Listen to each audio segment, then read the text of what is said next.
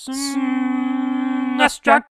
With the Plug and Play NES Classic Edition coming out tomorrow, and by the way, I've posted a video on all the games on that device several weeks back, I've had a few people ask me about what a Super Nintendo Classic might look like if it were ever to be made. Well, first thing you have to do is draw a line between what games should be on there and what inevitably will be on there. Just take a look at the NES Classic. That device was made with an emphasis on simple pick up and play style games, like Balloon Fight and Mario Brothers, and Ice Climber, and two different Donkey Kong games. So, as tempting as it would be to make any potential SNES Classic Edition an RPG machine, it in all likelihood would include stuff like Wario's Woods, Kirby's Avalanche, Yoshi's Cookie, those kinds of games, so keep that in mind. Yeah, but you know what? What fun is it to do a realistic depiction of a Super Nintendo Classic? Here's the 30 games that I think should be on there. bear in mind, I'm going for balance here. I want as many games and genres represented as possible. Of course, you gotta start with the best game on the system, Chrono Trigger. I mean, this game was the impetus of why I started this channel, to tell a younger generation of gamers how freaking good this game is. So if there's a chance to make this game widely available for anyone to play, then it's gotta be included. Chrono Trigger effortlessly tells a brilliantly laid out story with a rock solid combat system, a beautiful soundtrack, and hey, an RPG with no random battles. It's just the best.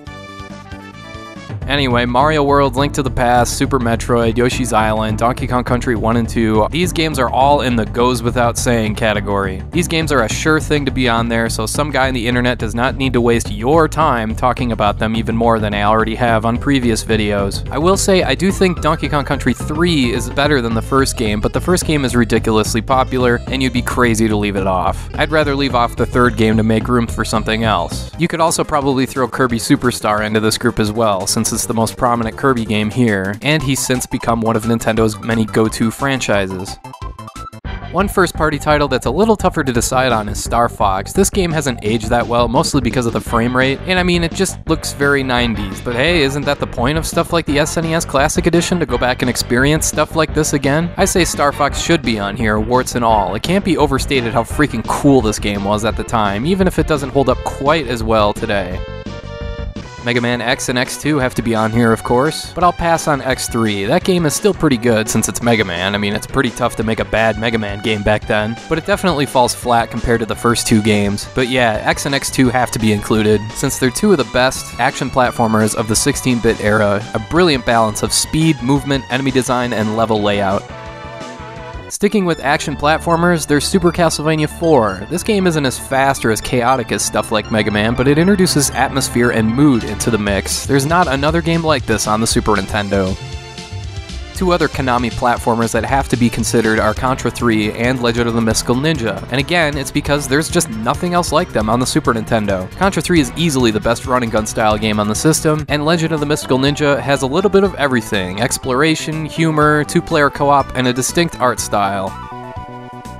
You gotta have sports games on here, so I gotta mention the four I always do NBA Jam, NHL 96, Tecmo Super Bowl, and Ken Griffey Jr. presents Major League Baseball. All four of these are such easy, accessible pick up and play games that are so much fun. It doesn't even matter if you don't even like sports, you'll still have fun with them. In the racing category, personally, I'd go with Top Gear, a great arcade style racing game that conveys an exhilarating sense of speed. But F Zero is more popular, so I understand if you want to go with that instead.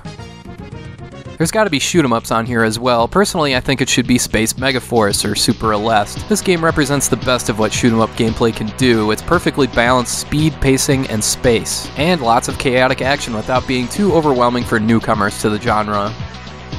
For puzzle games, like I said, there's probably going to be a bunch of these on here, but the best of the bunch is Tetris Attack. It doesn't have much to do with Tetris or attacking, but it's still the most polished and addictive puzzle game out there. For beat 'em ups, you really only need one game, Turtles in Time. This game is considered the best beat 'em up for its time because it not only gets all the basic stuff right, like visuals, sound, hit detection, and special moves like hurling a guy into the screen, but the game is just so crazy that you just want to keep playing it to see where in time you end up next, or what weapons you get to use, or what weird boss you'll have to fight. And of course, playing with the second player makes it all that much better. Speaking of multiplayer, I've mentioned plenty of co-op games, but there's also versus multiplayer games like Super Mario Kart. Yeah, this one kind of goes without saying, it'll be on there. And of course, there's one on one fighting games, and for that, you gotta go with Street Fighter 2 Turbo and Killer Instinct. I like the idea of pairing these two together because Street Fighter is a little easier, while Killer Instinct takes more practice to get those combos down, so you can start out with one game and move on to the next game as you get better.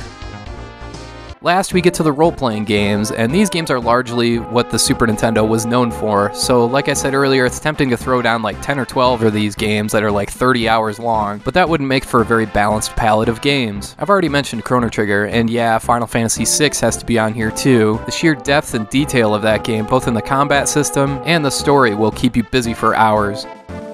You know Mario RPG is going to make the cut, and rightfully so. That's a laugh out loud, funny, and enjoyable game that takes kind of a different approach to the genre.